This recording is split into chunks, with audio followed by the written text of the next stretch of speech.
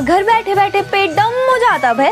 मेरे को किसी ने बोला कि लस्सी पियो लस्सी से ठीक रहता ना पेट? देसी दूसरी लोगों का होता होगा लस्सी से। हम पहाड़ियों का तो सब ठीक हो जाता चाय से। नमस्ते मैं Nanni I want to experience my share अब परसों मैं सब्ज़ी लेने गई। भाई आंवला लगा सौ रुपए के इतने महँगे हैं। मैंने कहा भैया ठगू कैसे बना रहा है? ये आंवले तेरे वहीं से तो आ रहे पहाड़ों से। हम पहाड़ों से ही तो है, वहाँ जंगलों में ऐसे गिरे रहते हैं आंवले। पूछते भी नहीं उनको। यहाँ लोग खा रहे तो महँगे लगा रहे वहाँ वो कोई नहीं खाता तो वहाँ नीचे गिरे हुए। तब उसने बीस भी नहीं पूरे तीस रुपए कम करे सौ में से। तब मैं लाई आमले अब बिज़नेस तो मेरा बचपन से ही था ना। क्या करना तब? अब परसों मैं गिरीश के पापा और गिरीश, हम तीनों रिक्शे से आ रहे थे। मैंने रिक्शे वाले भैया को पूछा भैया, कितना लेगा? तो कहता कि तीन मन की है, तीनों के तीस रुपए लूँगा।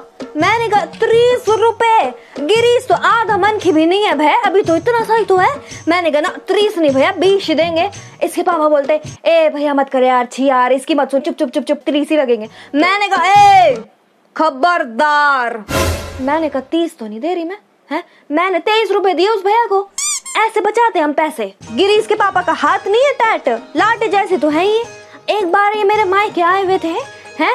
और जाना था इनको दिल्ली, कि बच्चों से लेकर बूढ़ों तक के हाथ में पकड़ा के गए सौ सौ रुपए, हैं? और उस दिन यहाँ किस्मत खराब थी चक्का जाम लगा हुआ था, कोई गाड़ी नहीं मिली, वापस आ गए। अगले दिन फिर पेटे दिल्ली के लिए अब फिर दे के जा रहे सबको सौ सौ रुपए। मैंने यूँ करके देख लिया था। जैसे ही गाड़ी में बैठे, मैं दौड़ के गई सबके खोलों में छीन के लाई उनसे सौ सौ रुपए। मैंने कहा, बड़े हो रखे तुम दो बार सौ सौ रुपए लेने वाले। अब बचपन से मैं भी नहीं थी ना पढ़ने लिखने में, पर बिज़नेस मुंड मेरा पहले से ही था। अब ऐसे गिरीश का भी हो रखा है, जितना हाथ टाइट मेरा है ना, उससे ज़्यादा गिरीश का हो रखा। अब स्कूल लेके जाता ये पेंसिल है मैंने कहा गिरीश, नई पेंसिल दिला देती हूँ तेरे को। बोलते, नहीं मम्मी, नहीं।